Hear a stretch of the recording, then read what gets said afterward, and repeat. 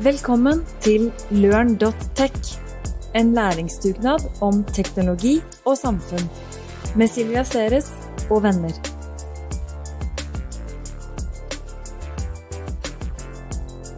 So, uh, welcome back to our master master's um, uh, discussion with uh, Dr. Mark Mattingly Scott, who is uh, trying to teach us through a friendly conversation about quantum computing. This uh, second conversation is going to be about some of his favorite examples in the area. And uh, again, I'm not quite sure how concrete one can be with a technology this new, Mark. So, what examples can we talk about? Um, we can talk about three kind of fundamental types of problems where um, quantum computers are going to change uh, how we compute things. Um, and the first group of examples are really things that came out of or were derived from or resulted from uh, Richard Feynman's um, demonstration that uh, quantum computers or qubits would accelerate the simulation of of uh, entanglement in the early 80s. Um, that basically led to the um, the insight that simulating materials, simulating atoms and molecules and things was going to be acceleratable using quantum computers. Um, and essentially, what you do is you take any kind of, I don't know, molecule or thing, material, and you map the quantum mechanical description of that system to qubits in a reasonably scalable way. Um, at the atom level, you um, you can map energy what are energy levels, essentially energy levels to qubits, um, and then through an iterative process, um, solve those energy levels. And once you've solved those energy levels, you can look at, you can use that to infer um, information about, for example, what a molecule looks like in three dimensions or what its binding energy is, how efficiently it will interact with or react with other molecules.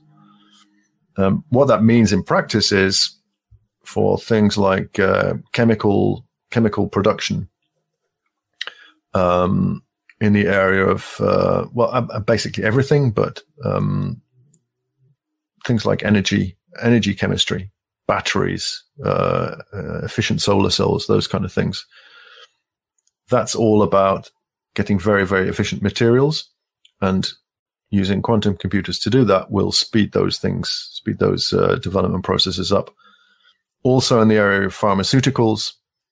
So, you know, one of the things you're concerned about when you've when you're doing pharmaceutical research, the first step is have I got an active substance which does something? And can I show it doing something in mice or rats or whatever?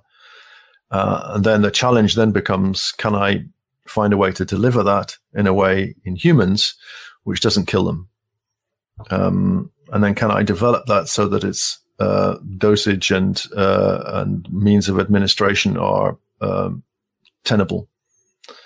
Accelerating that process because you, for example, you can simulate what a molecule does, um, will will have enormous impact. If you look at the costs of developing a pharmaceutical, a single drug, it's in the billions. Um, if you can accelerate that, um, it will have an economic impact, of course for the pharmaceutical companies and for patients. Uh, but it will also mean we get a, uh, a step nearer to to uh, bespoke um, and individualized um, uh, therapy regimes. So we may see some uh, some some significant speed up in those processes in the in the midterm. So that's materials, pharmaceuticals, battery design, materials design, surface design, um, the next area really comes out of. Can I? So, sorry, sorry, Mark. Yes. Uh, you mentioned pharma usage. You mentioned uh, other kind of construction materials, or other. You mentioned batteries, and it led me to think about energy solutions. Mm-hmm. So uh, Norway, Norway is, is is is fundamentally an energy uh, and natural resource uh, through advanced technology uh, nation. Uh, this could be applicable also to the new energy solutions for, say, whether it's hydrogen or what we're what we are really struggling with when we build, for example, offshore wind farms. Uh, is is creating them robust but flexible enough and, and, and, and experimenting with the right kinds of materials and the chemistry of it might get a real push through something like quantum. Could, could well be. Um, actually, if you look at that entire um, energy uh, creation, distribution, storage, and consumption, that entire value chain, um, the materials part of it does come in. It's an important factor. So, for example, if you're using wind energy to directly generate hydrogen, it's kind of a no-brainer if you're putting wind, you know, you're putting wind generators in the middle of the North Sea, using them to generate hydrogen, and it's like fairly obvious. It's, there's water there, and uh, why not? Mm. Um, is that efficient? I don't know at the moment. Probably not. But could it be efficient? Uh, is there a lot of chemistry involved in making it efficient? Yes.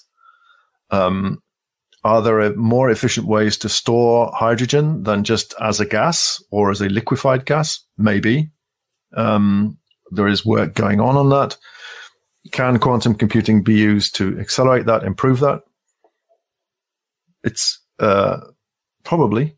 Uh, I wouldn't, you know, without knowing more about the details of the problem, is that going to be relevant in what timescale? But those are the kind of problems where quantum computing is at, at the the front, where it's about things. Behind that energy generation problem you talked about is a second class of issues, if you like, which is around logistics, optimization. What's the most efficient way to do things, to combine things? And that comes back to the second class of problems, um, where we look at um, basically derived from the work that Peter Shor did with his factorization algorithm. So coming back to Peter Shor, what he did was he um, took a problem which is computationally indeterminate, factoring a number um, and translated it into another form. So if you take two numbers and you multiply them, it's very fast and efficient on a classical computer. If you take a number and try and determine what the factors are, it's horribly inefficient. It doesn't make a difference if you're talking the number you're talking about is 15, because everybody knows that 15 is five times three. If the number you're talking about is a thousand bits long, it's in, in, incomputable. It would take billions of years on a fastest computer. Peter Shor said, hmm, uh, finding those factors is kind of like finding the fundamental frequencies in a musical chord. So if I, I sit at a piano and I play a chord, um, then that chord actually consists of distinct notes. Assume the chord consists of two notes. If there's a way to translate the factorization problem into determining what notes those are, then this is what Peter Shor did essentially. He said, I can translate that factoring problem into something in the quantum domain. And then I, this is where your brain's going to get fried here. So, and, and then I then use something called the quantum Fourier transform to identify what the factors are. And then I can translate it back and out pop the two factors. And it's incredibly efficient that led that work of Peter Shor led to two things. First of all, everybody suddenly got concerned about cryptography, rightfully so. And the second second thing is people started to look at are there other areas where we can use those principles to accelerate what are called classes of linear algebra problems. So factoring a number is a simple linear algebra problem. Um, inverting a matrix is another linear algebra problem. Algebra problem can we use a quantum computer or can we use qubits to invert a matrix fast, rapidly? Turns out you can. And uh, also, I think it was in the late 90s, uh, three researchers whose names I always forget, but their initials are H, H, and L, and the algorithm is called the HHL algorithm, um, proved a, or showed a way to exponentially speed up matrix inversion. Um, and since then, we've had a whole class of you know algorithm research working on using qubits to solve those kind of problems. There is a but with these problems. To do that, you need error corrected qubits. You need qubits which behave perfectly. Um, we don't have them yet. And this leads to the third class of problems, um, which are essentially algorithms which don't, in general, don't prov- provide this exponential speed up. They provide quadratic speed up, and they use the real qubits of today. Um, there is those, and you find those algorithms around things like optimization, um, Monte Carlo analysis. Uh, so where you're looking at you know lots of different alternatives to a problem. Can you speed that up? Can you can you take your turing non-deterministic turing machine and speed it up a little bit? The answer seems to be yes you can. You can speed it up quadratically. Um, quadratically means squared for the listeners. Um, squared doesn't sound like a lot but if you're looking at big enough problems it's the difference between doable and impossible Mm. So those are the three classes of essentially the three classes of problems. And if you so look the first one, so, so, sorry, if I just go back, there was a, uh, the first class. Just summarizing, we need to stop a little bit and give give people um, time to breathe. So the first one was uh, materials technology, simulating real things uh, in in a in an incredible incredibly much more fast way.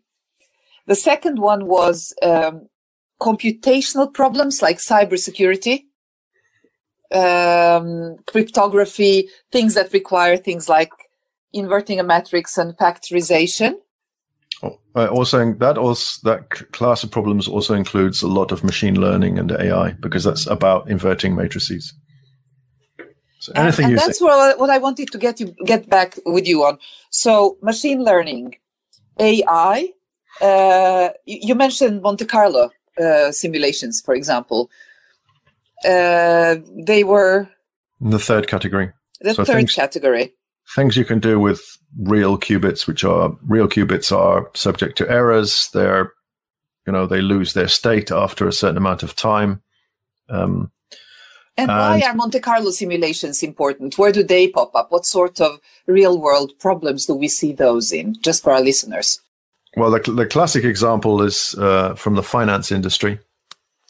Uh, Monte Carlo simulation is used to uh, do things like um, options pricing, um, um, arbitrage, currency arbitrage, hedging, uh, risk analysis in the finance industry. Um, what you essentially do is you take your problem and throw ra- throw random decisions at it and look at what what comes out, um, and then you repeat and rinse, repeat and rinse, repeat and rinse a number of times. And uh, Monte Carlo simulation says that given enough repetitions, you will get a statistically robust answer. What the quantum computer does is it accelerates that, getting to a statistically robust answer quadratically. And that can be for if you're if you're managing a hedge fund, that can be you know huge difference in time. So, given the effect, uh, uh, and, and these real qubits already exist. Yes. And yes. I don't know if you can buy them, but they exist. So whoever gets to using them uh, efficiently, uh, given the potential of earning money in, in, or whether it's hedge funds or controlling markets or uh, doing anything where type, you know, game semantics comes into play, I can imagine the the income differential, the income potential from somebody being able to do this is is just so huge. Yeah, um, in the finance industry, typically these, um, typically a performance advantage, either in time or accuracy, of per thousands, um, is enough to dominate a market. So if you can shave, you know, a fraction of a percent off the time to execute or the accuracy of the result, then you've just, you know, eradicated your your comp- competition. Um, so the you know the sensitivity is very very high, just really really small improvements. Um, and using a quantum computer to achieve those kind of even a small improvement um, is of such immense potential value that the uh, willingness to invest in the technology, to understand the technology, to start getting ready to use it is very, very high. So most banks, insurance companies, most financial institutions, the central banks, they're all very, very interested in quantum computing for that reason. Um, but also because in, in the you know hands of rogue people or your enemies, this could be a system uh, disruptive thing. Yeah, but I don't think that's specific to quantum computing. That's the same with every technology. Every technology that could be used for benign purposes can be misused. Uh, just look at human history. Um, it's it's an absolute, you know, it's it's a kind of constant in human uh, human nature. Um, then the the question then becomes is, you know, um, it's not optional. You can't ignore a technology for two reasons. First of all, it will give you an advantage. And secondly, if you don't take it seriously, you will be at a disadvantage. Disadvantage that may be just commercially, or it may be socially. It may be it's so disruptive that uh, the potential is there to you know to change so much um, you you better be in front of that technology. You better understand how it works, what the implications are. You better be ready for it. Um, so, what so Mark, means- what, what, what you're saying, I'm I'm trying to simplify. I'm I'm using my Lego language now. Uh, so you're saying that you have a choice, you know, to say this is too complex for me and I'm waiting. If you're running a central bank or are in charge of some very systemic cybersecurity um, stuff in, in, in defense or but then what you're risking is that whoever moves first will define how this will play out. Yes. Uh, but as I say, that's not specific to quantum computing. That's every technology that's come come along. Every technology, from gunpowder to going back to your, you know, the, the, the gunpowder example, um, or the invention of the longbow uh, and the British archers at Agincourt. So apologies to the French viewers um, every technological advance, um, the the potential is there, and if you ignore it, then at your peril. Uh, and the central banks, um, as I say, they're they're by and large they're all very interested in quantum computing, which is actually quite encouraging. Uh, they're taking it seriously. Um, the banks certainly are, and um, uh, I think uh, if you look at you know the uh, the less salubrious countries on this planet, they're also looking at quantum computing um, and how to use it, and almost certainly how to misuse it. So it's just a technology like every other. It cannot be ignored. Yeah, I, I want to ask you about two possible areas uh, in addition to the ones that you. So you've kind of given us three types of problems, but it's still abstract to many listeners who are not computer people. But I heard you speak about applications in robotics and autonomous cars and uh, satellites and what you called disconnected uh, things. And then I also want to ask you about possible applications in computer centers.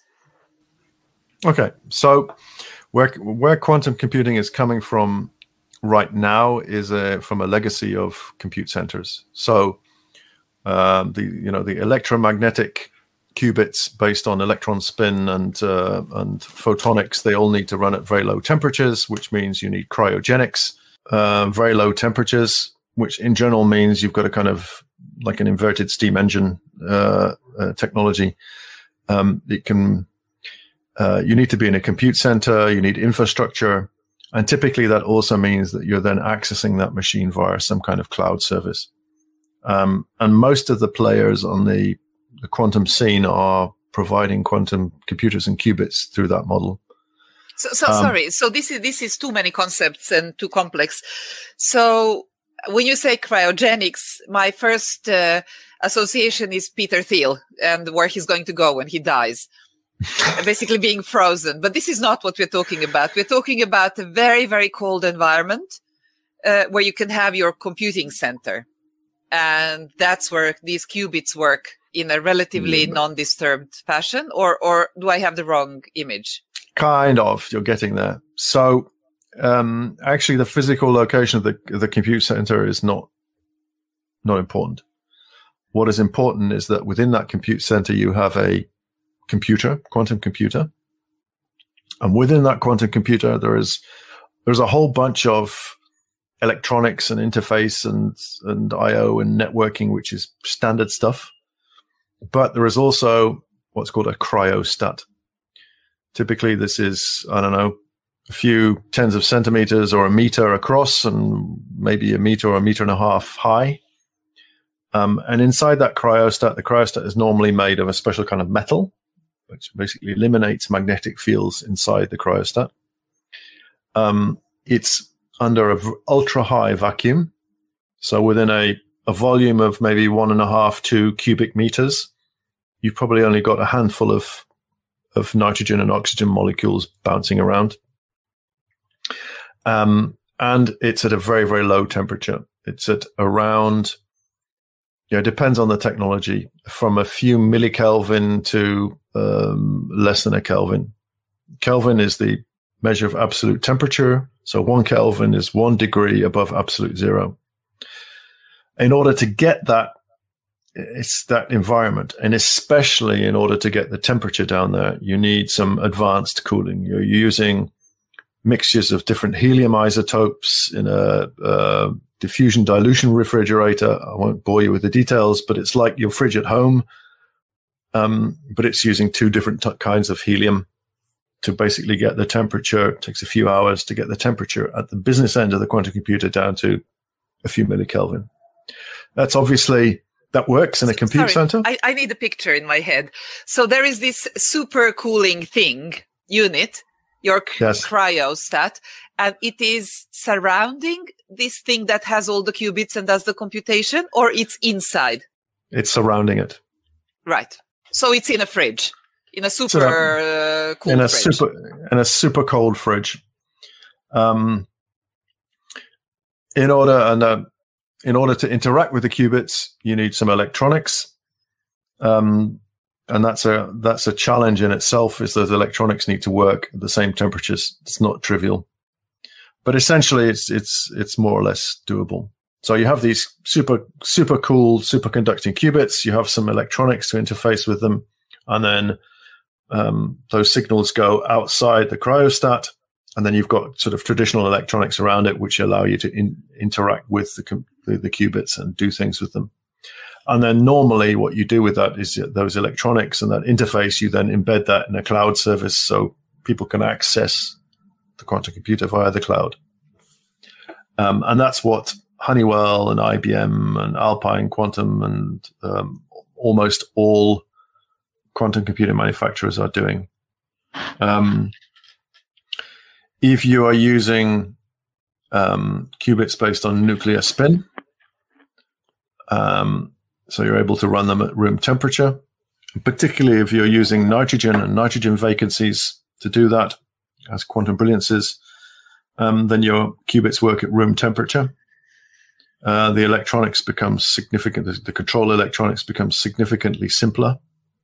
Um, and that's a technology where um, a quantum computer fits at the moment into a 19 inch rack unit. So 19 inch rack is a standard format for computer centers like this wide,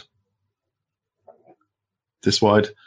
Um, so it's about this high, and there's the qubits are in there and the control electronics, and you just slide it in, and you can connect it up to whatever the cloud if you want, or a local machine, or something.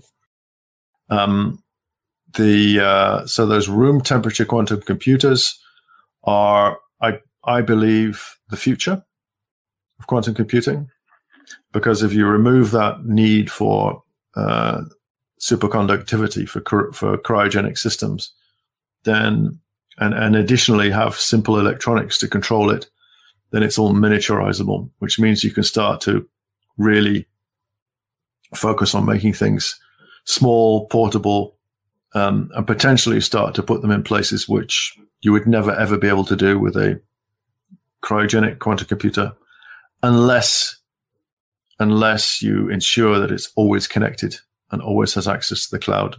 And Okay. there are lots of things where that's not possible. So again, trying to trying to uh, kind of um, find the, the bits of my brain that aren't fried yet.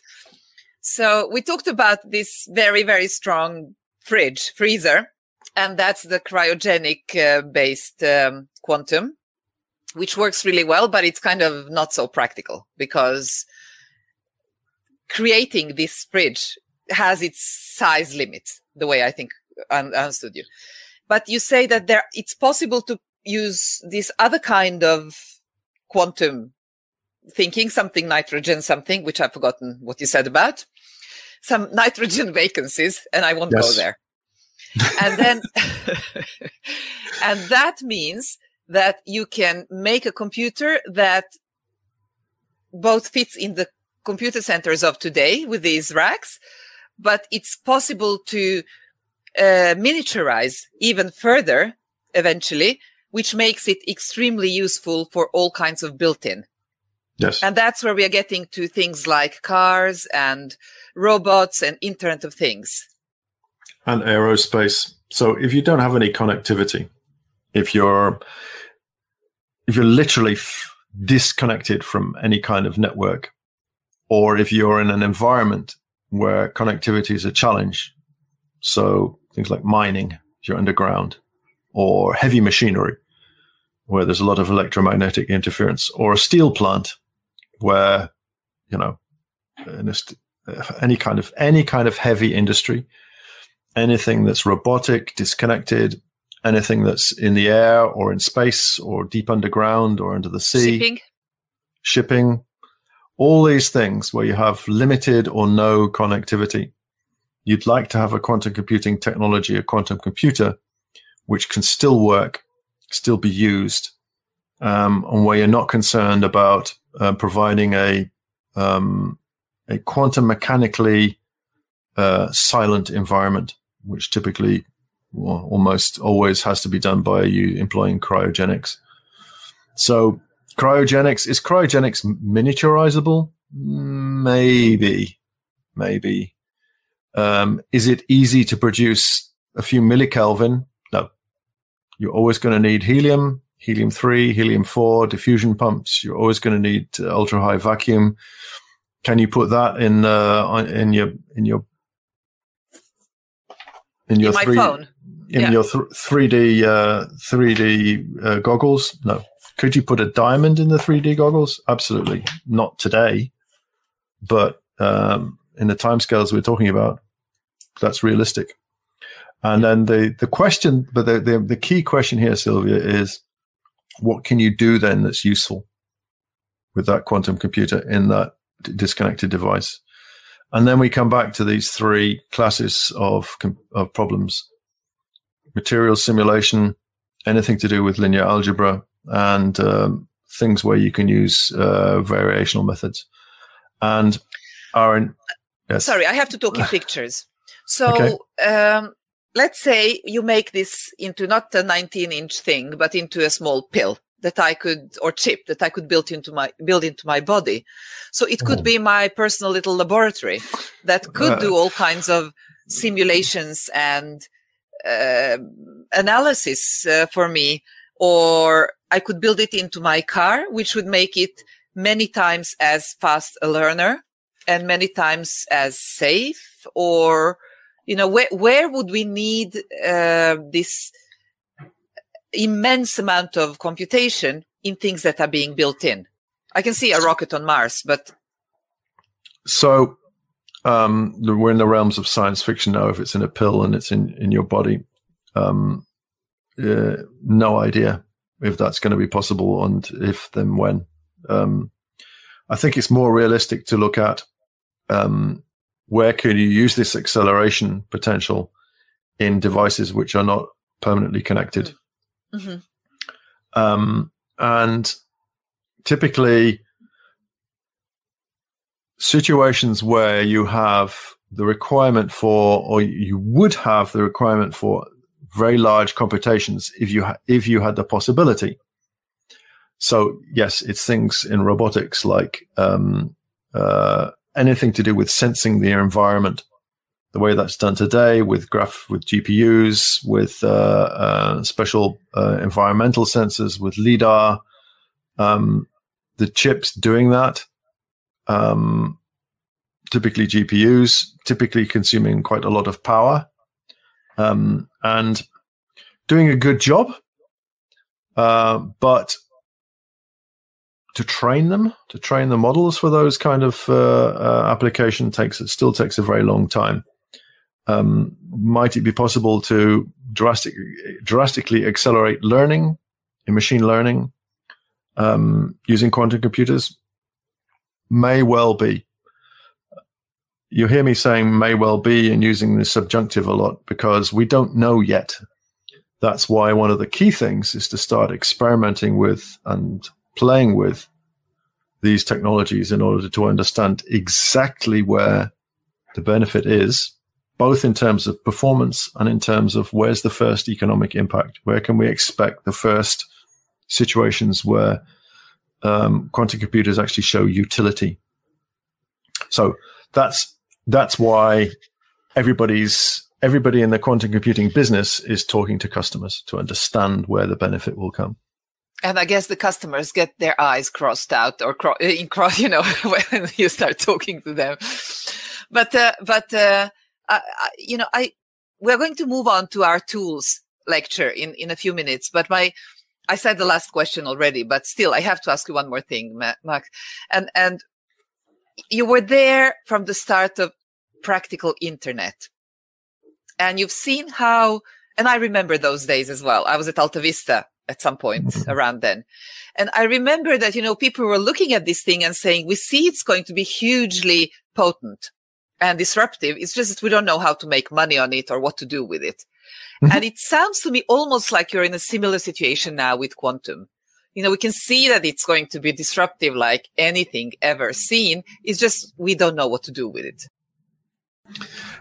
Yeah, so there are definitely parallels. Um, and it took from 1989 with uh, HTML and HTTP.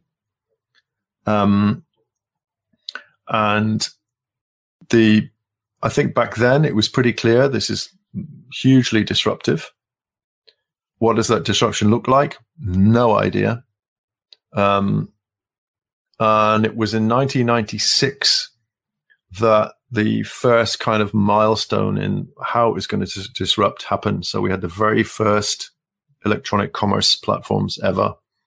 So end to end electronic commerce. And then it became a lot clearer about what's, you know, where's, where's this particular rabbit going to run?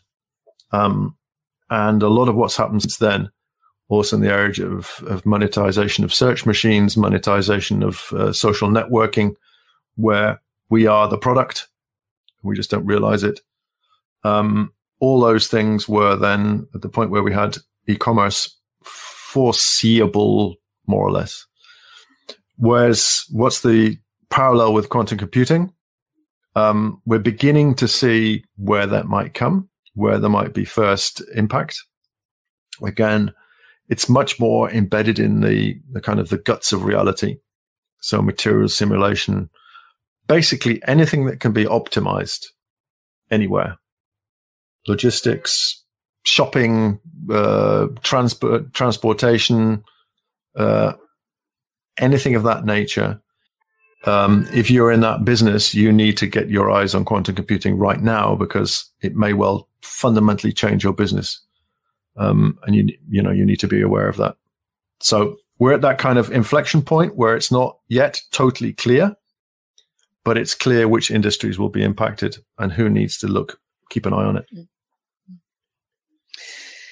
Mark, uh, we're going to uh, finish our second lecture now, and uh, in a couple of minutes, meet for the third one, where we're going to talk about well, how do we get started then? Thank okay. you so far. Thank you.